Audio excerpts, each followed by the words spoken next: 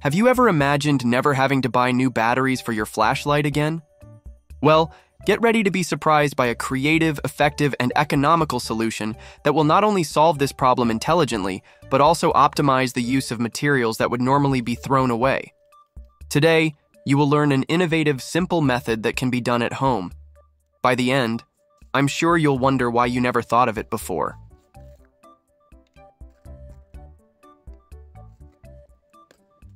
It all starts by checking if your batteries are really dead. With a multimeter in hand, check the voltage of the old batteries. Upon finding that they are almost out of charge, we usually immediately think of discarding them and buying new ones. But not today. Today we will give a new purpose to these materials.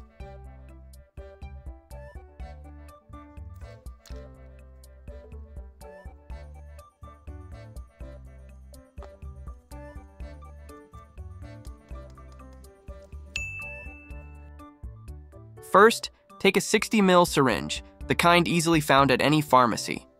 Make sure it fits perfectly inside the flashlight, in the space reserved for the batteries. Carefully remove the plunger from the syringe body, as we will need it for the next step.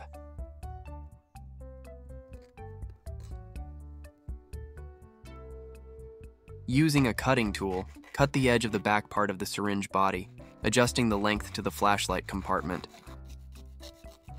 By watching until the end, you will discover valuable information that can make all the difference in your life. Don't miss a moment.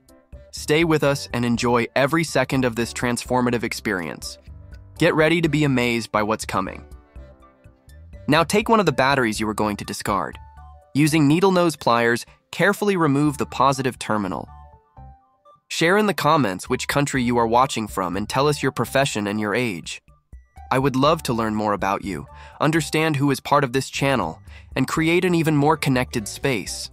Your story is important, and every interaction makes our content even more special. Leave your message, and let's build this channel together. Next, cut the tip off the syringe body with a fine saw, being careful not to exceed the size of the hole needed to fit the piece. With everything ready, it's time to ensure the ideal electrical contact.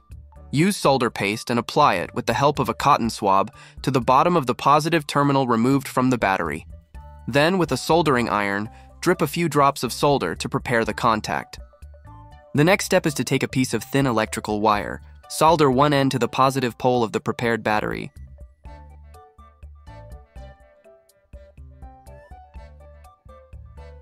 Pass the other end of the wire through the syringe cylinder and position the positive pole at the end, gluing it with a hot glue gun to keep everything firm. If you are not yet subscribed to the channel, take the opportunity to subscribe right now.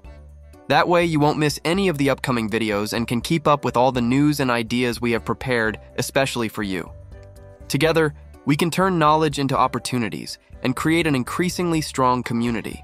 Don't forget to also activate the bell to receive all notifications firsthand. Your participation is very important to us.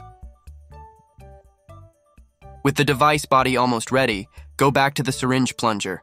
Remove it and insert a small screw right in the center.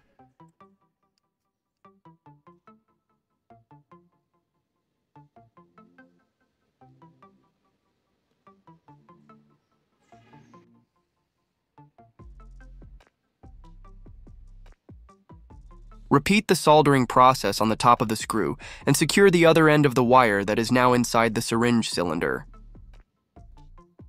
Next, push the plunger into the barrel until it reaches approximately the level of the edge that was previously cut.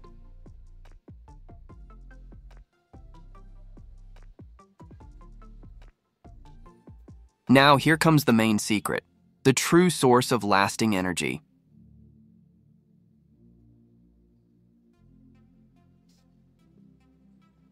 Take a lithium battery, model CR232, one of those used in small electronics.